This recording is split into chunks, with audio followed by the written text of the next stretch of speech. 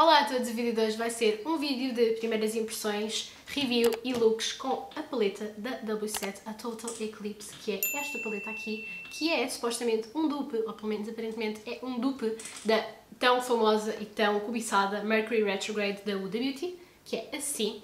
E portanto, no vídeo de hoje nós vamos usar pela primeira vez esta paleta e vou fazer dois olhos diferentes, que são os olhos que eu tenho obviamente já no meu rosto. Deste lado fiz um olho mais sunset alaranjado com dourados e um quê de roxo. E deste lado fiz um Barbie Pink Heart em cima e abaixo como não resisti e queria muito experimentar os azuis fiz uma parte de baixo azul. Estou muito contente com esta paleta e vou-vos mostrar tudo, eu a experimentar look, como se faz, pigmentação, etc, etc. Portanto o vídeo de hoje vai ser isto, por isso vamos começar. Ora então, vamos começar este vídeo e vou fazer, uh, eu estava aqui a pensar que look é que eu ia fazer porque a verdade é isto, todas as cores me atraem nesta paleta. Então, eu acho que vou fazer um look em cada olho. Não é a cena mais aesthetically pleasing, but eu quero muito experimentar. Acho que vou fazer um olho, um olho mais nos tons pêssegos, alaranjados e este dourado aqui. E vou fazer um olho com os rosas, se calhar faço uma lower lash line, tipo uma parte de baixo dos olhos com azul, com estes azuis, por exemplo. E é isto. Vamos, vamos fazer. Vamos com o flow, literalmente. Acho que vou começar com a Galaxy, que é este laranja de pêssego aqui. Vou fazer o olho laranja do lado direito e depois faço o olho rosa do lado esquerdo. Portanto, Galaxy vai para a arcada.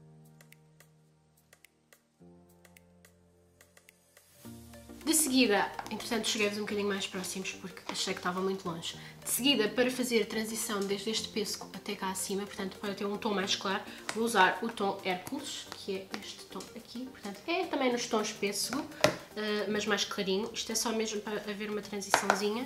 Portanto, aqui em cima e passar do pêssego para um tom mais clarinho. Este tom, principalmente nas peles hum, médias, não vai fazer diferença nenhuma. Eu como estou, como estava a dizer, super branca, isto é a minha cor original. A minha branquidão pura, eh, esta cor faz qualquer coisa em mim.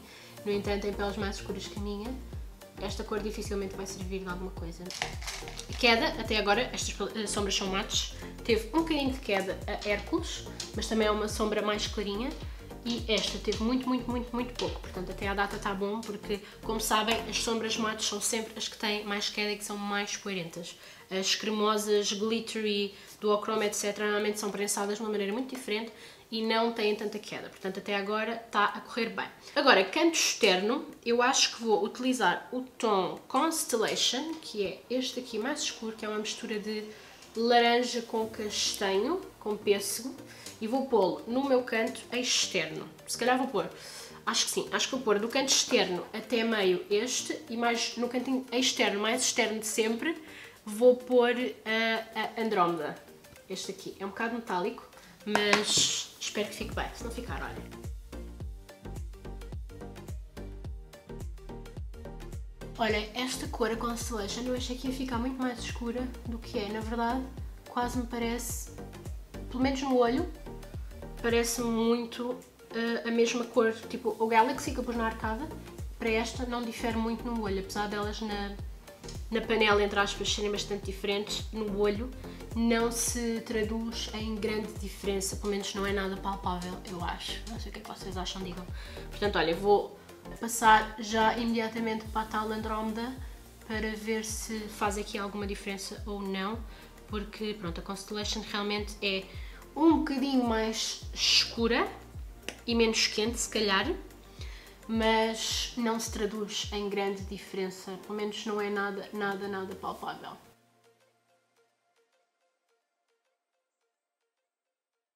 Gosto muito mais, eu acho que vocês não conseguem entender, mas como a sombra é, tem uns brilhinhos, é estilo metalizada, ficou realmente com um brilhinho interessante. Gosto muito. Não é muito mais escura, mas tem um reflexo bonito e acho que fica bem aqui.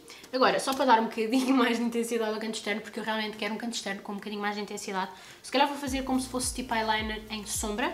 Vou usar este Latitude, que é um roxo escuro, que não vai propriamente com estes tons que eu estou a usar, mas esfumado na linha das pestanas em cima e só no canto externo, acho que vai ficar giro.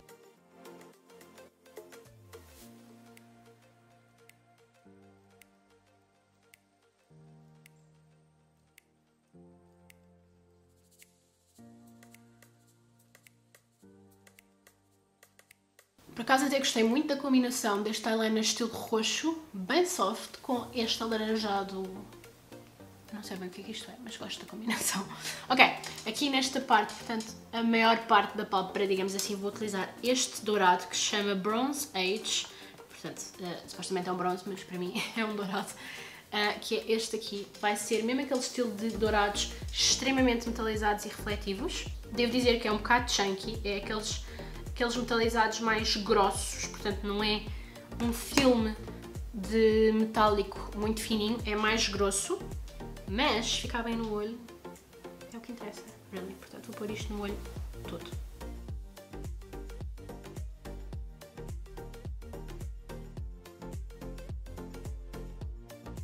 Ora bem, apercebi-me que quero experimentar, apesar de eu achar que este dourado não precisa de todo, uh, eu quero experimentar usá-lo com Fix Plus, só para ver se fica mais com aquele aspecto wet. Portanto, tenho aqui um pincel daquele estilo concealer, não é concealer, mas sintético, da Morphe. Já pus o dourado e agora vou pôr um bocadinho de Fix Plus e vou experimentar só para ver se fica mais intenso. Não é que precise, mas acho que é bem experimentar. Já, yeah, fica. Por acaso não é uma diferença exorbitante, mas fica sem dúvida mais... Um, eu não diria completamente mais metalizado, eu acho que a grande diferença é que fica menos, como é uma sombra um bocadinho tipo grossa, tipo chunky, é a única maneira que eu sei descrever, fica menos chunky porque parece que se une tudo muito melhor por causa do Fix Plus. Fica mais uniforme, líquida e fininha. Acho que vocês perceberam o que eu quis dizer. Este olho para mim está tá ótimo neste, deste lado. Vou só pôr aqui mais um bocadinho de roxo. Acabei por esticar um bocadinho mais este eyeliner com sombra roxa porque até achei que ficava bonito contra estes tons. Pronto, para mim este olho está ótimo, até gostei muito da combinação de cores, são todas ótimas. Lá está, o dourado é um bocadinho mais chunky, digamos assim, mas molhado então fica espetacular e a intensidade é ótima. Portanto, dourado, pêssegos, o bronze no canto externo, depois fiz um eyeliner roxo escuro, mas muito esbatido e acho que a combinação de cores está I like it a lot. Ok, vou pôr máscara de pestanas, vou usar a Big Bang, vou pôr as minhas pestanas falsas, neste caso vou pôr uma, e vamos passar para o outro olho. Vamos passar para o outro. Vou utilizar na arcada o Milky Way, que é este rosinha aqui, e depois para transição, portanto para o mais claro, vou usar este aqui, que é o Oracle. Portanto, Milky Way e Oracle. O Milky Way na zona mais dentro, digamos assim, que é o mais escuro, e depois o Oracle só para fazer o degradê.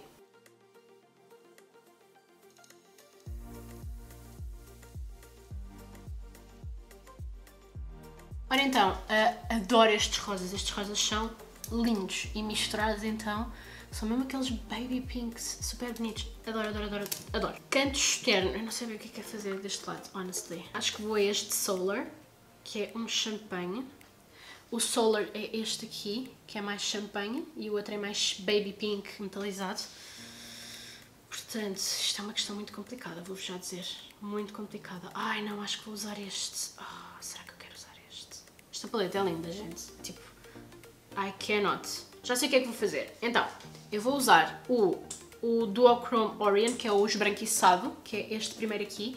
Vou utilizá-lo desde o canto interno até meio, depois meio até ao canto externo, não até ao canto externo total. Vamos dividir o olho em três. Primeira parte, o Orient, que é o esbranquiçado Duochrome.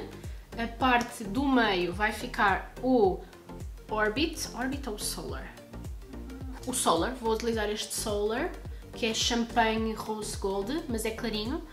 E no canto mais externo de todos, acho que vou utilizar talvez o Little Dipper e o roxo, que é o Latitude, estes dois juntos. Portanto, primeira parte do olho este, segunda este, terceira estes dois.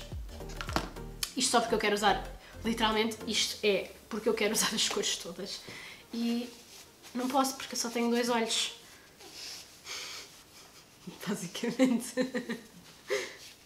Só para o caso de não saberem. Tu só tens dois olhos. Eu gosto tão óbvio. Pois. It is what it is. Vou utilizar o Orion primeiro e vou pôr Fix Plus porque acho que este é mesmo daqueles tons. Tal como, tal como o bronze do outro lado, que se chama bronze mas é dourado, uh, acho que é pronto. É aqueles metalizados que são mais chunky e se forem molhados ficam mais smooth. Portanto, é isso que eu vou fazer.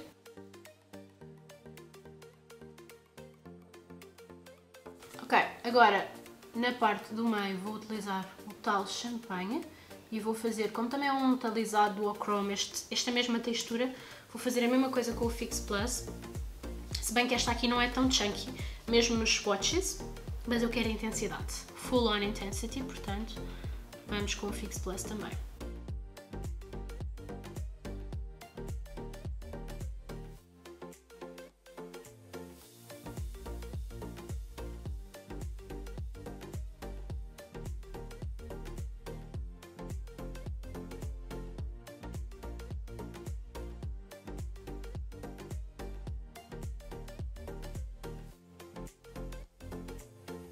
Ora bem, então os olhos ficaram assim a parte de cima, Barbie Pink Moment e Peachy Sunset Moment.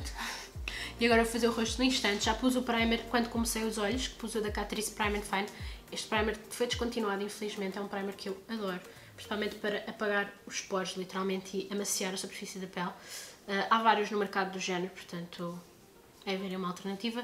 Vou fazer o rosto muito rápido, vou pôr isto a acelerar. Como base vou utilizar a Yves Saint Laurent Ancre de Peau, o número 30, que é uma das minhas bases favoritas e eu comprei recentemente. Concealer Flower Beauty Light Illusion, este comprei nos Estados Unidos. Para fixar o pó vai ser Coty Airspan. Bronzer, um da Chanel de edição limitada do ano passado, mas eles têm estes todos os anos, que são aqueles com várias cores. Warm Soul da MAC, que é um blush rosado que nunca se compromete, portanto eu não sabia que look aqui ia fazer nos olhos, portanto achei que o Warm Soul era o blush ideal para isso. E por fim, Morphe, o iluminador Spark, que é um rose gold muito bonito como iluminador. Vou preencher também as sobrancelhas muito rapidamente e depois passamos para terminar a parte de baixo dos olhos, que eu não faço ideia do que é que vou fazer. Acho que vou pôr azuis deste lado e deste lado vou manter muito no, no esquema que já está, mas já vemos isso e já fazemos isso.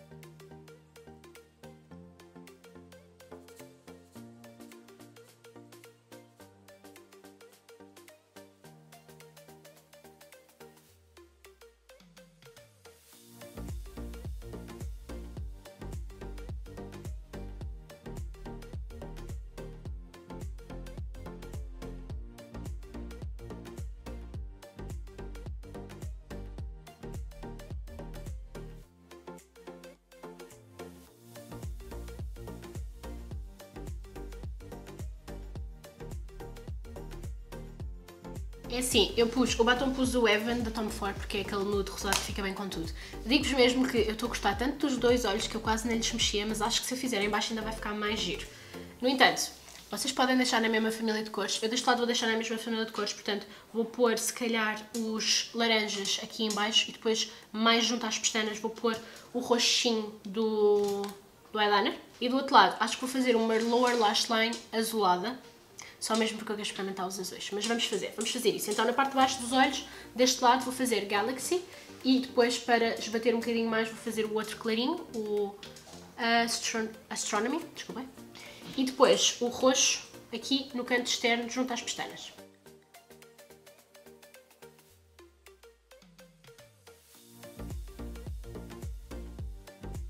Pronto, então ficou assim, um, portanto vocês podem, eu aqui deste lado usei exatamente o mesmo esquema de cores que tinha em cima e baixo, vocês deste lado podem fazer a mesma coisa, aliás, podem fazer o que quiserem na verdade, eu vou fazer única e exclusivamente porque quero experimentar estes azuis, portanto, em baixo, em vez de seguir o esquema dos rosas, vou utilizar este Zodiac na linha das pestanas inferiores deste lado e junto às pestanas, portanto à raiz das pestanas, vou usar o Astronomy porque eu honestamente estou com muita vontade de experimentar os azuis também e azul e laranja, azul e rosa aliás, é uma combinação que fica super gira, portanto vou fazer esta lower lash line assim. Estou a adorar, estou a adorar os dois olhos, estou a adorar a paleta, super loving it.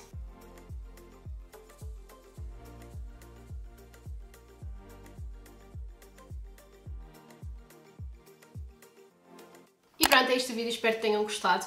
Honestamente, eu estou apaixonadíssima pela paleta. 5,99 é, é inacreditável como é que isto custa 5,99.